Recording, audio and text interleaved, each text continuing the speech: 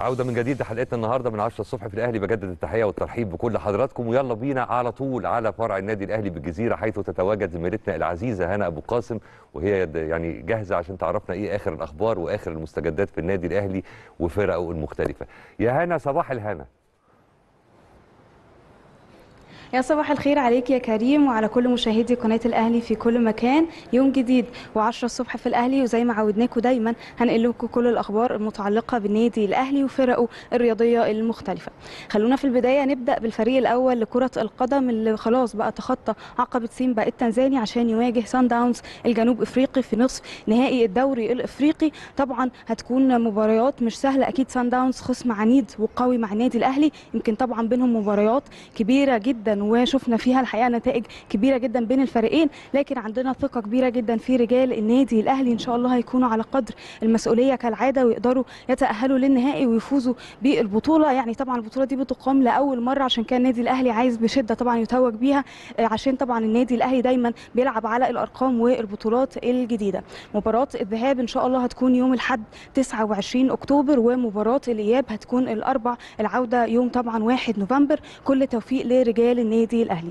خليني بقول لكم إنه مستر مارسيل كولر المدير الفني للفريق قرر إنه يعطي اللاعبين راحة سلبية من التدريبات النهارده. إن شاء الله غدا هيستأنفوا التدريبات هيكون تجمع الفريق الساعة 9 صباحا والمران هيكون الساعة 10 صباحا. وعقب انتهاء المران مباشرة هيتجهوا لإستاد القاهرة عشان بقى يغادروا لجنوب إفريقيا ويدخلوا في معسكر مغلق عشان يستعدوا ويكونوا على أتم استعداد لمواجهة سان داونز الجنوب إفريقي. كل توفيق طبعا لرجال كرة القدم. الحقيقة ما ينفعش نكون بنتكلم على مباراة امبارح أمام سيمبا التنزاني وما نذكرش ونشيد بجماهير النادي الأهلي. الحقيقة كانوا بيدعموا طبعا أشقائنا في فلسطين منذ الدقيقة الأولى للدقيقة الأخيرة من المباراة. وكمان شفنا تبرعهم بالدم والحقيقة دي أكيد أقل حاجة نقدر نقدمها لإخواتنا في فلسطين. طبعا بنتمنى بقى كل الأيام دي تعدي على خير إن شاء الله وربنا يلهمهم الصبر والقوة ويعدي الأيام دي. ده على صعيد كرة القدم. خلونا بقى ننتقل للألعاب الأخرى. معانا النهاردة أخبار كتيرة متعلقة بكرة السلة وكرة الطايرة بالنادي الأهلي. وخلينا نبدأ برجال كرة السلة والنهاردة بقى هيكون عندهم المباراة الأولى في دوري المرتبط.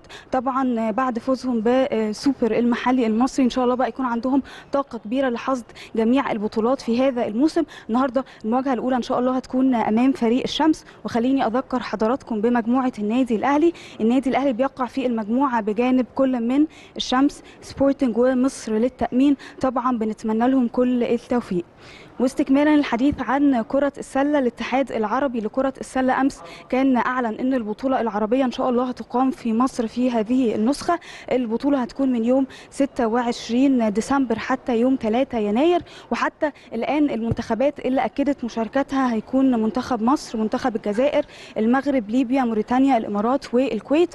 وطبعا يعني ممكن عدد هذه المنتخبات يزيد في الأيام القادمة. أتمنى كل التوفيق طبعا لمنتخبنا المصري.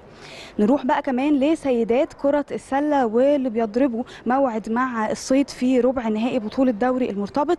طبعا بيتلعب على ذهاب وإياب. مباراة الذهاب إن شاء الله هتكون يوم 28 أكتوبر. فريق المرتبط هيكون مباراته الساعة 6 والفريق الأول هيكون الساعة 8 ومباراة الإياب المرتبط هيكون الساعة 4 والفريق الأول هيكون الساعة 8 طبعا بنتمنى لهم كل التوفيق. حتى الآن سيدات كرة السلة فازوا في جميع المباريات في هذا الموسم ماشيين بخطى ثابتة جدا بيفوزوا الحقيقة كل الفرق بفرق score كمان وظاهرين بمظهر جيد جدا. إن شاء الله بقى يستمروا بنفس الأداء.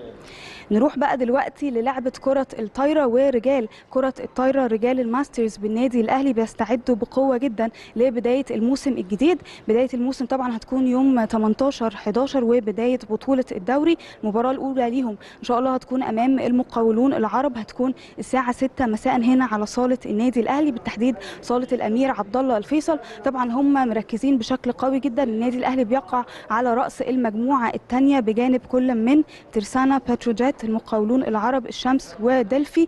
آه، طبعا خلوني أكلمكم أكتر يعني النادي الأهلي هيكون بيلعب مباراتين في الأسبوع في بطولة الدوري مباراه يوم السبت ومباراه يوم الثلاث وخليني آه، أنقل لحضراتكم بالترتيب الأهلي هيواجه مين في آه، الدور الأول؟ هيواجه طبعا زي ما قلت المقاولون. المباراة الثانية إن شاء الله هتكون أمام فريق بتروجيت المباراة الثالثه هتكون أمام فريق ترسانة المباراة الرابعة هتكون أمام الشمس وبعد كده هيواجهوا فريق دلفي. عايزة أقول لكم كمان إن إن شاء الله الفريق هيخوض سلسلة من المباريات الودية في المرحلة المقبلة عشان بقى طبعا يعني يضعوا تشكيل مناسب وطبعا نطمن كمان جماهير النادي الأهلي على حالة آه، رجال ال masters. ويعني من المتوقع إنه يلعبوا مباراة ودية أمام فريق طلائع جيش. طبعا بنتمنى كل التوفيق لرجال ال masters. أما عن سيدات كرة الطايرة فتيات الذهب فأمس كان أعلن كابتن خالد العوضي مدير النشاط الرياضي بالنادي الأهلي عن التعاقد مع الفرنسية أوريليا إيباتومبو اللي طبعا بتشغل مركز اثنين تم التعاقد معاها لمدة موسم عشان بقى تدعم صفوف فتيات الذهب فتيات كرة الطايرة بالنادي الأهلي. إن شاء الله يكون موسم مميز في جميع الفرق المختلفة. طبعا زي يمكن ما قدرنا نعمل كده الموسم اللي فات. إن شاء الله الموسم ده كمان نحقق نتائج نتائج أكبر ويكون موسم استثنائي.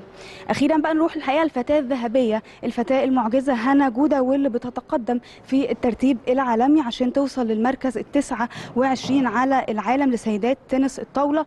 الحقيقة ان هي يعني فعلا لما ذكروا عليها الفتاة الذهبية ده طبعا عشان كل الأرقام القياسية اللي بتحققها. يعني بنشوفها بتلاعب الحقيقة سيدات من أعمار أكبر منها بكتير جدا وبتتألق عليهم وبتفوز الكل بيتمنى لها طبعا والحقيقة بيتوقع ليها لمستقبل مشرق فطبعا بنهنئها وبنتمنى لها مزيد من التألق ودايما تكون مشرفة النادي الأهلي وأيضا طبعا مصر والرياضة المصرية والعربية والإفريقية.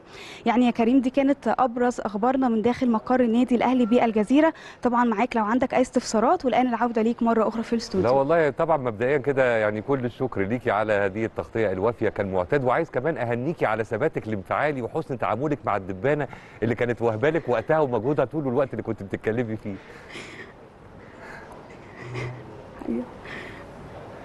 بشكرك على وجودك معانا يا هنا. شكرا جزيلا نورتينا كالعادة.